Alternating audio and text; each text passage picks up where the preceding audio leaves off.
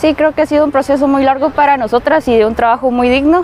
Creo que hemos eh, representado bien a Guate y pues eh, gracias a Dios me he recuperado muy bien y gracias a selección y al equipo que también me ha ayudado un montón con las recuperaciones y pues nada, seguir con, con el objetivo que tenemos en mente.